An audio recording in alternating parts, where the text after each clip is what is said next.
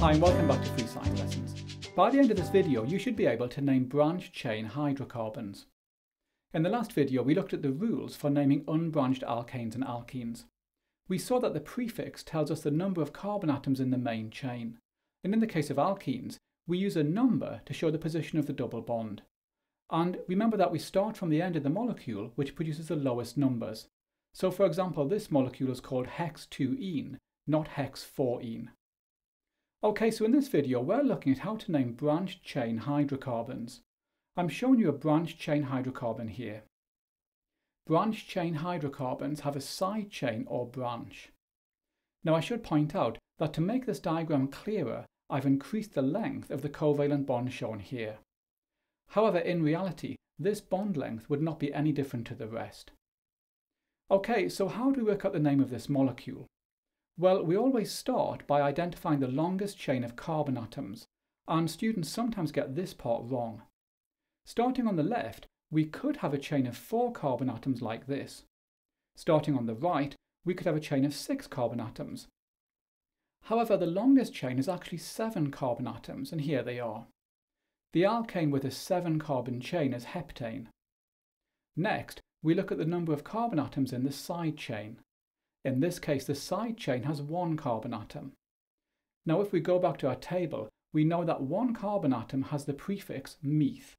This means that we call a side chain with one carbon atom a methyl group. Next, we need to state the position of the methyl group on the main carbon chain. To do that, we need to number the carbon atoms. Numbering from the left, the methyl group's on carbon 3. Numbering from the right, the methyl group's on carbon 5.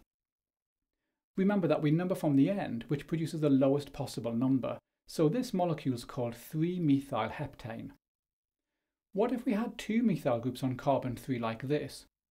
Well, now the molecule is called 3,3-dimethyl-heptane.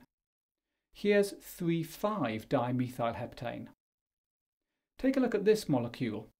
I'd like you to try and name this, so pause the video now and try this yourself. Okay, First, we identify the longest chain of carbon atoms. Starting on the left, we could have a chain of four carbon atoms. And starting on the right, we could also have a chain of four carbon atoms like this, and like this. However, the longest carbon chain is actually five atoms, and we can see those here. So this molecule is based on the alkane pentane. We have a side chain with one carbon atom, and I'm showing you that here and we've already seen that a one carbon side chain is called a methyl group. Next, we need to work out the position of the methyl group on the carbon chain. The main carbon chain has five carbon atoms and the methyl group's on carbon 3. So this molecule is called 3-methyl-pentane. Okay, what if we have two side chains and they're not the same? Take a look at this molecule. Just like before, we identify the longest chain and the names of the side chains. The name of the molecule is based on the longest chain, and the side chains are listed alphabetically with the lowest possible numbers. So pause the video now and try this yourself. Okay, first we identify the longest chain. We have a chain of four carbon atoms here and six carbon atoms here. We have another six carbon chain here and a chain of seven carbon atoms here.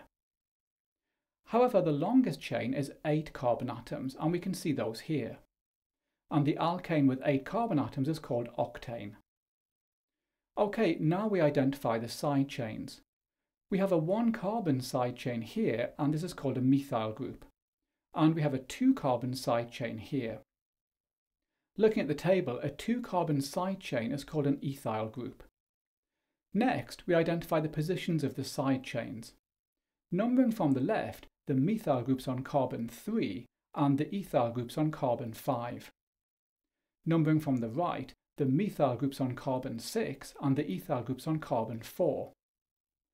Remember that we start from the end of the molecule which produces the lowest numbers, and side chains are listed alphabetically. So this molecule is called 5-ethyl 3-methyl octane. Okay, the same rules apply to branched alkenes. In this alkene, the longest chain has five carbon atoms, and the double bond lies between carbons 2 and 3.